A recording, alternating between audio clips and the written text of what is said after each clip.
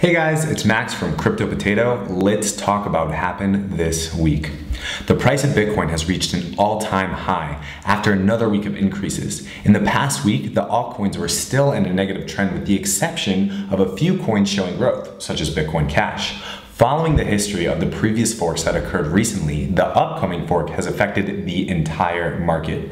Many of the investors and newcomers are strongly influenced by what happened in the previous fork and recent events which strengthens their confidence in receiving a positive return after the fork is finished.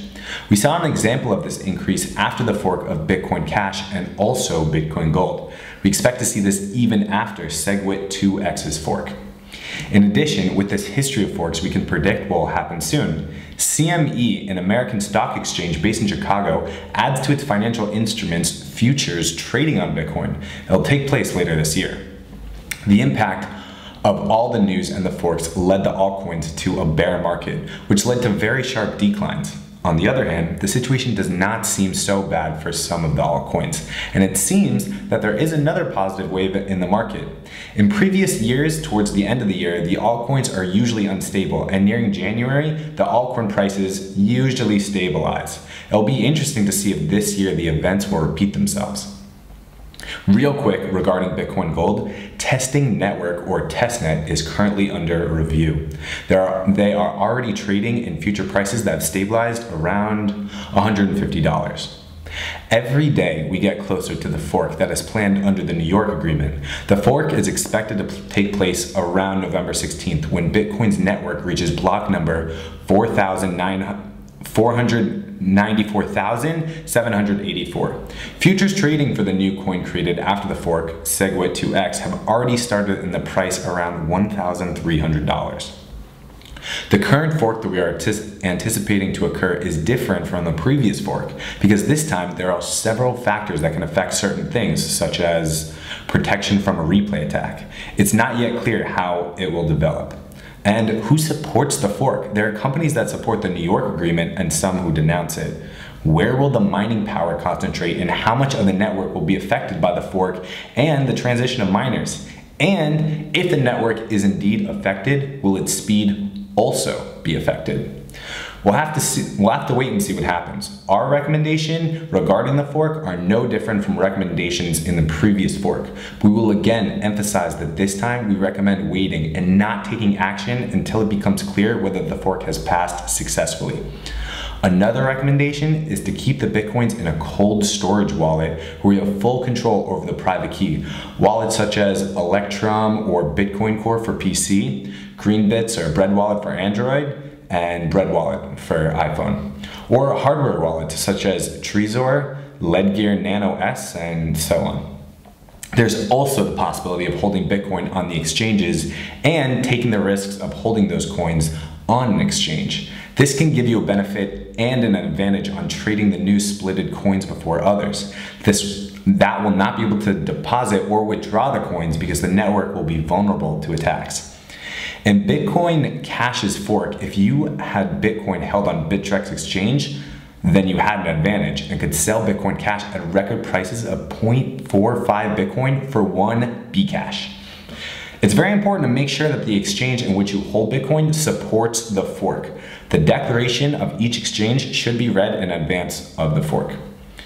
Cobra, a veteran activist, in the well-known Bitcoin Talk forum suggested that if SegWit2x will be the dominant chain, a fork of Bitcoin's original chain will be immediately needed in order to prevent a network attack. And also, there will need to be a change to the mining algorithm to call that change Bitcoin. The scenario I just described is extreme and will unlikely happen, but it's important to always be attentive. Now let's move on. What is new in the world of crypto?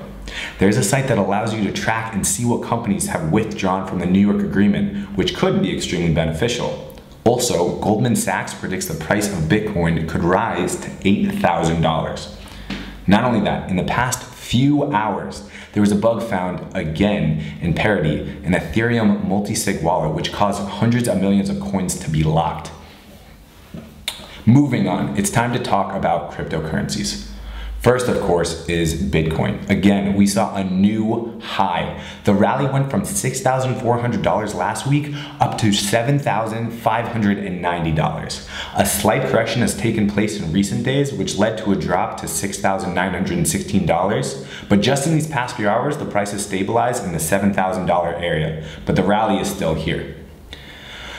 Next, Ethereum. The price support of 0.05 Bitcoin has broken and has led to a strong drop in the low areas of the beginning of the rally in March of this year, where the floor price reached 0.037 Bitcoin, compared to the current floor level at a price of around 0.04 Bitcoin. Is there any way for Ethereum to get out of here if the price of Bitcoin continues to rally? The price against the dollar is still $300 and seems quite stable uh, in these recent days.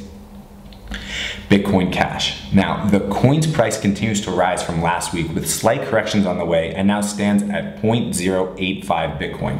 Since the fork that created this currency, there has been an 80% increase in its value against the Bitcoin. Against the dollar, the rate of the price rises respectively to around the $600 mark. Anyone remember that the floor was $283?